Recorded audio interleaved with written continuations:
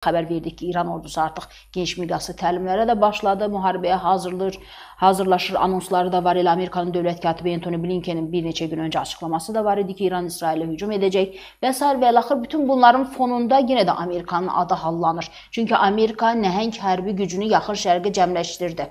Və bu maraqlıdır. Yəni Amerika nə edir? Burada nə edir? Yəni İranın İsrailə hücumunu önləməkdir məqsəd, yoxsa başqa bir məqsəd var burada?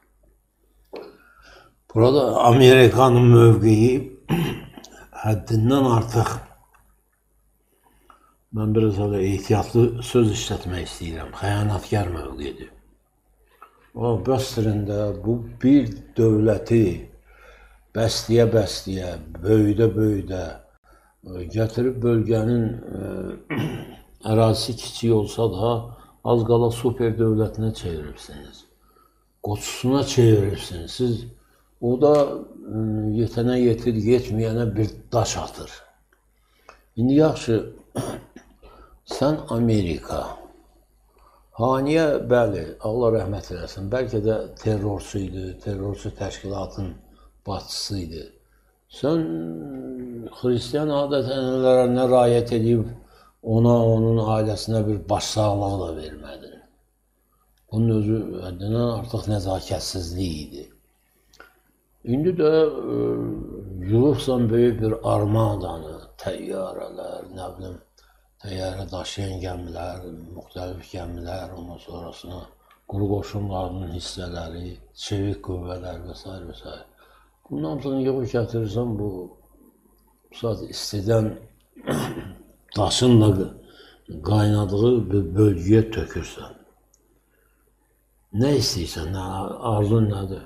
Biz İsraili daima müdafiə etmək haqqında İsraillə birlikdə ikili müqavilə imzalamışıq.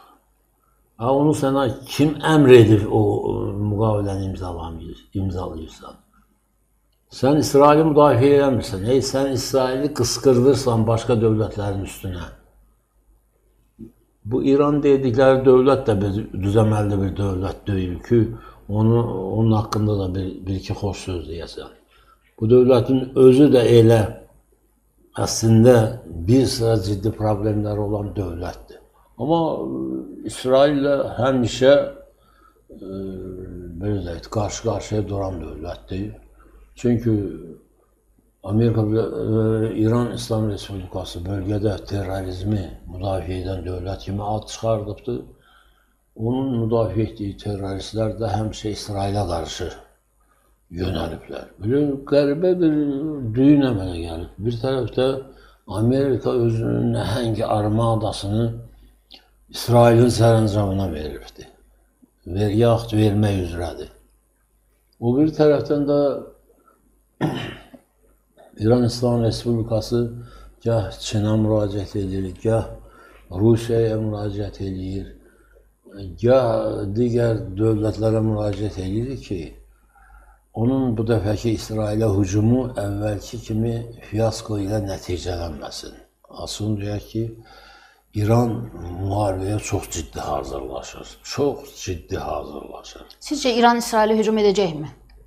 Yoxsa bu sadəcə olaraq görüntü xarakterlidir? Mütləq hücum edəcək. Mütləq hücum edəcək, özə İsrailə böyük ziyan vuracaq.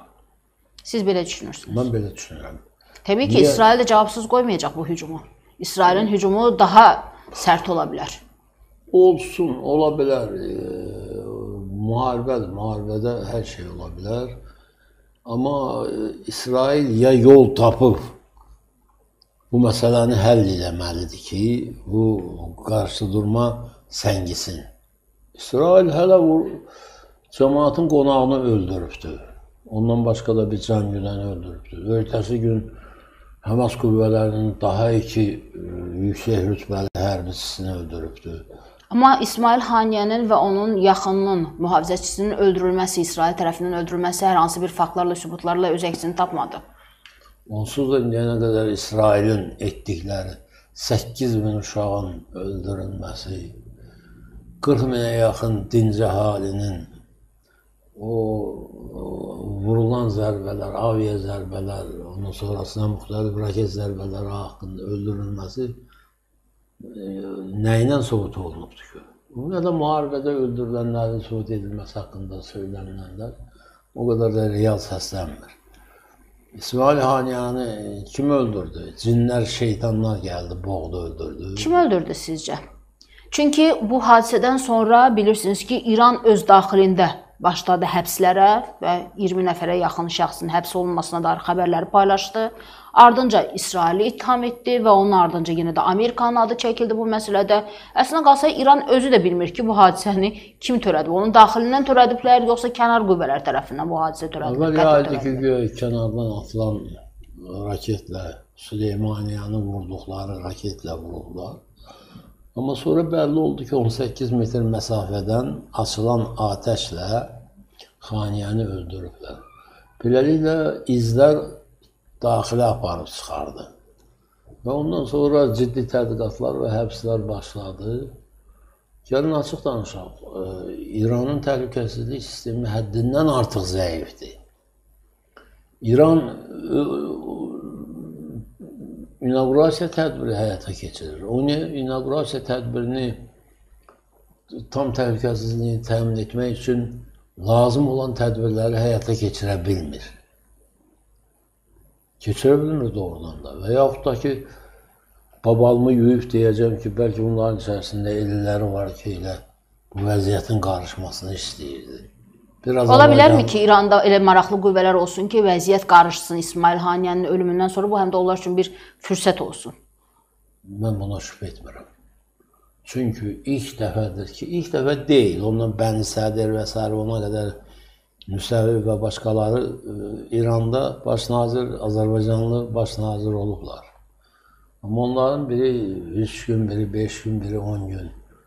İlk dəfədir ki, qanuni böyük seçkilər yolu ilə İranda hakimiyyət başına bir təmiz Azərbaycanlı və öz də proqramı ilə, hər, hər şeyi ilə hakimiyyətə gəlir. Siz deyirsiniz ki, bu həm də İranın yeni prezidenti Məsud Pezeşkiyaniyə qarşı bir təxribatdır.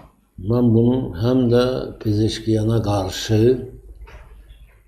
xarici qüvvələr də ola bilər, daxili qüvvələrin də həyata keçirdiyi, xüsusən Sepahı, Sepahın həyata keçirdiyi bir